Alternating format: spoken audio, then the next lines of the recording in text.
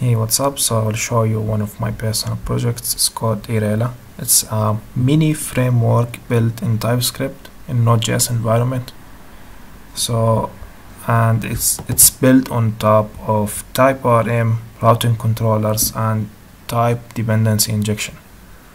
So the main idea or the goal behind this is to create simple APIs where you have maybe five six controllers and um, you will map just some requests to controllers and maybe contact with the database return the response the, the response. So just basically for small apis where you need things to be organized and that's it. Um, and one of the one of its features that it has not only type TypeORM but the type TypeORM CLI integrated with simple commands so you can generate migrations and run them very easily. And the whole CLI itself is exported and um, exposed for you. And everything is contained so you don't need to install uh, anything globally. So just npm install and you will be good to go. Uh, also routing controls is very fam it's very uh, nice. I really liked it. So you will have a syntax that is for the controllers that is similar to Nest.js and dependency injection I like to do this so I can provide some classes as a singleton in many places as an the instance from these classes uh, you can you can actually remove this uh, remove this from your your workflow. You can actually remove anything. As you can see if you read the readme uh, nothing is actually linked that well. So you can and the idea behind this that you can just remove it. You can actually remove the whole routing controllers and just use the normal express routes in TypeScript. So app.get then pass the route and whatever but I will show you how the typical Erela application will look like. Uh, there is this readme if you want to read it. This is the basically the documentation at this moment. I am planning actually to expand it, but uh, it's not that fancy at the moment. So to start, you will just clone it. So git clone, and after that finishes, go to it, Erela, then npm install or npm i, which is for install so after you do all of that just open it in VS Code. And as you can see I have it right here. So basically the only there's a couple of files that you need to know about. First one is the package.json these are all the scripts you can run. So npm run any one of these. Dev to start the development server. Erela this is the cli generator. This is yeah one of its features. This is the linter if you want to lint any file it's already exposed to you and installed uh, built to compile to JavaScript type TypeORM this is the type TypeORM CLI exposed as you can see. So you don't need to write all of this stuff each, each time. Migrate to generate migrations by name by giving it a name and run uh, to run a migration. And another and this is the folder structure. So we have controllers entities interfaces services and types each one i mean i think they are self-explanatory. You, you, can understand what to put in each one of them. Um, but the, the main idea that the request will reach a controller if, if the controller needs to contact the database it will call the service service will call the entity and retain everything. And that's basically the whole flow. So let's start by generating uh, a couple by generating a controller. So npm run erela so we will have this controller. So as you can see you can move in the arrow with the arrow so I'll call it users. And actually there is another thing you can do with the name. Instead of passing uh, only the name you can pass uh, a path.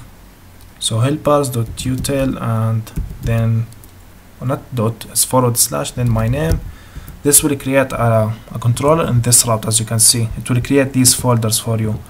So it's actually smart. It can understand if this is a path or just a name. And if, if it's a path it will try to resolve that path and create that folder that file there. So let's look at the users controller. So as you can see the route is users. So you go localhost then the port then the uh, then forward slash users to access this route. Uh, it's named uh, using the title case. I think Pascal case this is called.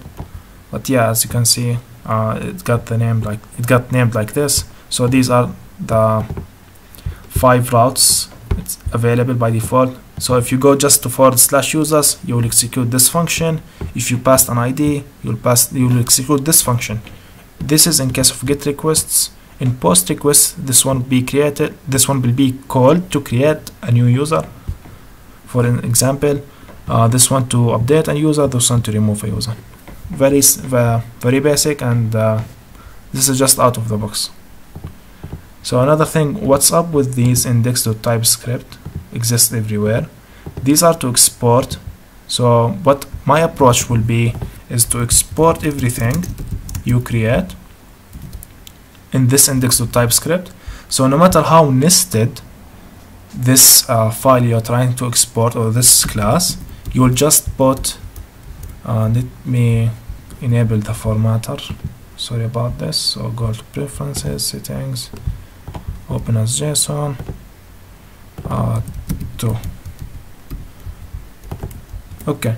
So the my yeah let me just return. So anything no matter how nested inside any folder you'll just export it from the index to typescript. So at the end from any place let's go to our app.ts for example. I can put import from at controllers and just import the user controller as simple as that. And what is this at controllers? If you go to our ts config you will see a couple of uh, aliases. So add types will go to the index to typescript inside types. Add controllers will go here to the index inside the controllers and so on. And this actually will work no matter where you are in the application. That's why I like to use these it's really uh, eloquent anyway so yeah so this is basically the user's controller. You should read these comments but basically this one says that you if you are using a database inject the service here. So let's create a service. Oh you know before that let's create so npm run let's create uh, an entity you don't need a service without an entity. Maybe you maybe if you are if you are free to do whatever you want. So an entity maybe you will put the logic in the uh, in the services. So okay well now we have an entity. It's called users. So as you can see this is the default structure.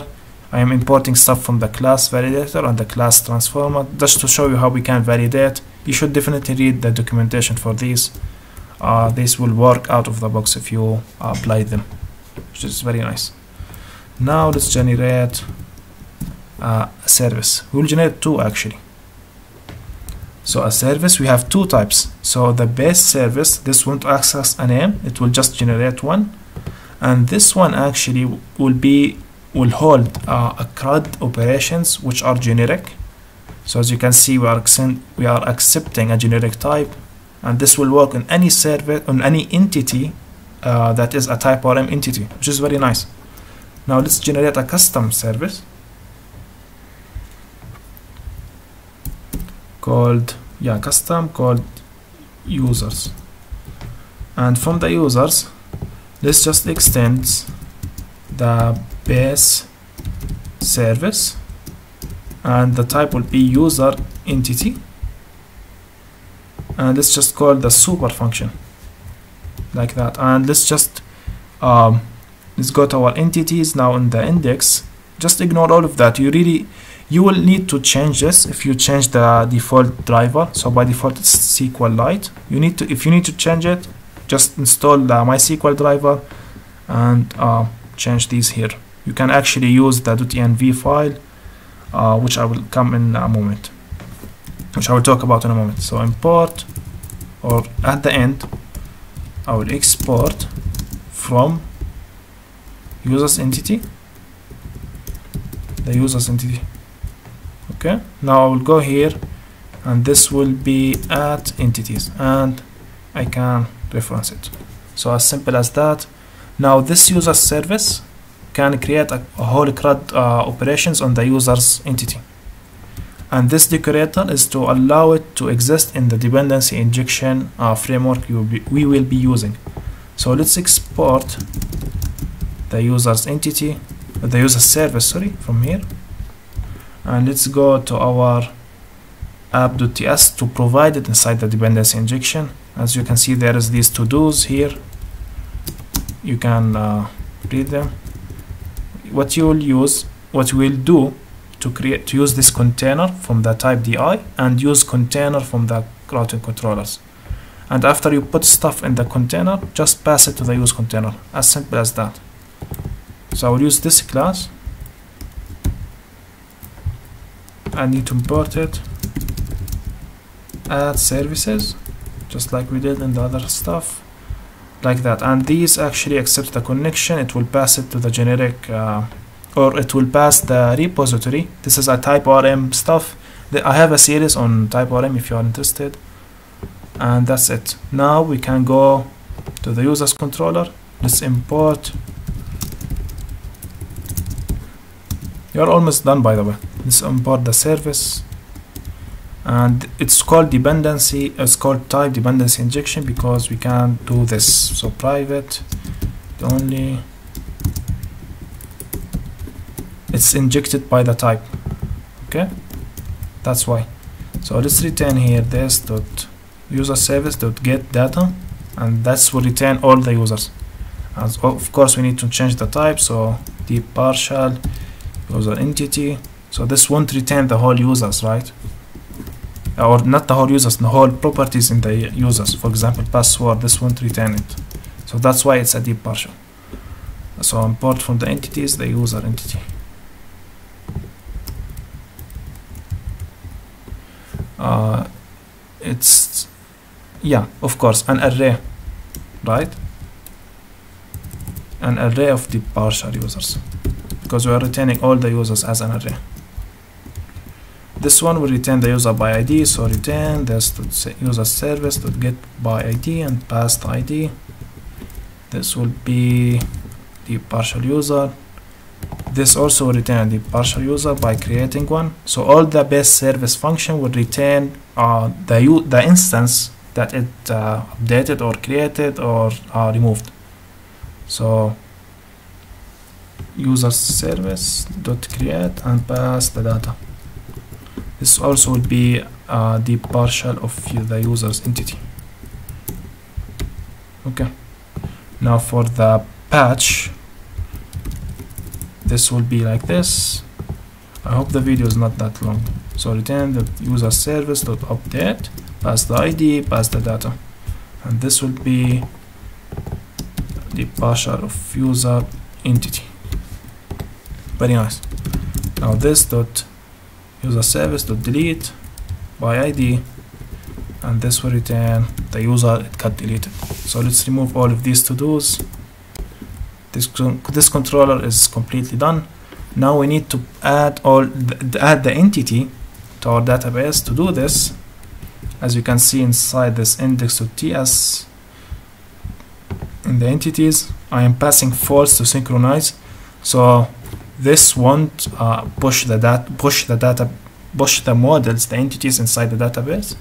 What you need to do to npm run typeorm migrate like this. My typeorm column migrate then add the migration name. So add users table. So this will create a migration. It will appear here. Oops. Yeah yeah this is actually a good uh, a good uh, point to good time to show you this. So by default the type ORM CLI will look for .env in the root directory. We don't have it. We have .env.example so we need actually to rename this or create a new one with just .env but this one is added to the git ignore so you won't expose anything by mistake. I just left to you the .env.example and actually you should read about the TypeORM CLI all of these will be used by it so I'm using SQLite by default you will change this and if you are actually using MySQL you will change this and you will change the stuff inside the index in the entities like this here. So I'm using SQLite you will change it or, or you will read stuff from you read stuff from here. So you can read these actually there. Um, it's, it's really easy. But yeah since we did that this now will work alright we should see a migration in a moment. Yeah. We have this migration. So let's migrate it. So npm run typeorm run. And actually I enabled logging so we will see a couple of messages here. I enabled it here. I have a video on my channel where I show you how you can create a custom logger which puts the uh, stuff in files. So now let's open our database it's a SQLite database. We will have two tables as you can see. Oops. Um, the migration. So migrations table let's look at it. We have only one migration which is add users table. These are all the properties inside the user. Like this. So but I actually won't use all of them so let's change it and run and create another migration. So let's go to the users entity. I'll remove everything I'll just oops I will just uh, keep the ID and this property. I will change it to username put its name here and now let's generate another migration called change users table. And let's run it and see. So run. As you can see we have it here. So this one will change it you can actually see the commands the SQL commands got generated. Very very nice. So let's refresh our database look at the migration. Two migrations add and change and this this is now the users table okay so let's now run npm run dev. So this will run our application and it will show us like a pretty output as a table for the controllers. I am planning to add like npm scripts to show you the all the controllers in a separate file maybe. I think Laravel do that but not in separate file in the console but I will do it in separate file. And another thing I will maybe I will create a command that will map all the routes with the controllers and show it to you. I hate when I'm seeing an application I don't know all the routes I need to go to a many files if there's a command that shows me all the routes and where I can look to know the, their functions that would be nice. But anyway so these are our controllers as a table. You have only one controller and connected with the database correctly. So let me create a couple of users. I have a command here it's a curl command. So as you can see I am passing username my name as JSON. This only accepts and returns JSON this API this JSON controller so X post uh, it's a post request so let's send it. We got we the API retained this user with ID 1 do it again ID 2 so let's get we have 10 users which is nice. So let's go go here. 30 30 now for users. We should see 10 users as you can see which is very nice. And we can actually get one by ID so this is the user 2 this is the user 5 this is the user 10 uh, very nice. And uh, this is basically it for Erela I hope this was not that confusing.